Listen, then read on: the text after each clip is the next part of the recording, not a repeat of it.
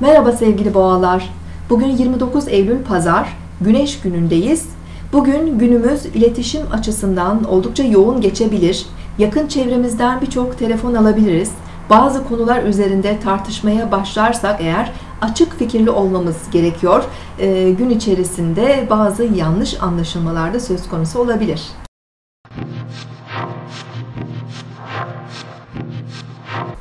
Burcunuzu dinlediniz. Bugün 29 Eylül Pazar, Güneş günündeyiz. Yengeç burcunda ilerleyen ay sabah 10.31'de Merkürle kare açı yapacak ve ardından boşluğa girecek. Günün ilk saatlerinde aile ilişkilerimize dikkat etmemiz gerekiyor. Duygularımızı ve kendimizi ifade etmekte zorlanabilir, bazı yanlış anlaşılmalarla karşılaşabiliriz.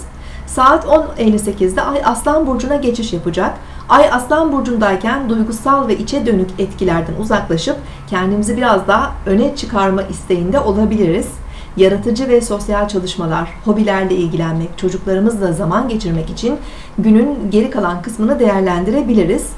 Bugün öğleden sonra 14.39'da Merkür burç değiştirecek. Terazi burcundan ayrılıp Akrep burcuna geçecek. Merkür uzun bir süre 6 Aralık'a kadar Akrep burcunda ilerleyecek. Bu süreç içerisinde 20 Ekim 10 Kasım aralığında da retro harekette bulunacak.